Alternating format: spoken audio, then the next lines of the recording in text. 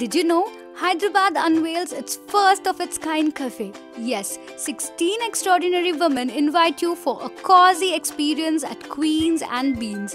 Divya and Robert, the visionaries behind this unique creation, organized a grand inauguration graced by Sri Sreelatha Manda, a Circle of Life coach, Anjali Dange, co-founder of Starlight Wellness, journalist Swathi Sucharita and the food blogger Vasanthi Singampalli, among many others.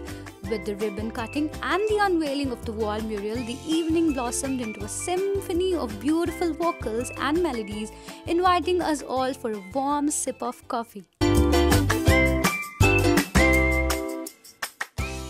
Queens and Beans, as the name suggests, as, as I said, so coffee is something uh, where my business partner Robert also is very good at, and uh, we thought in a city like Hyderabad, um, you know, people come to sit, chill out, and you know, with friends. It might be with family. So the USP over here is only one thing I can say. Uh, people might think, why? What happened if all women are there? But I want to give an example that can you imagine a home without a woman, right? nurtured and being taken care by women. So that's the whole idea or the origin of the Queens and Beans.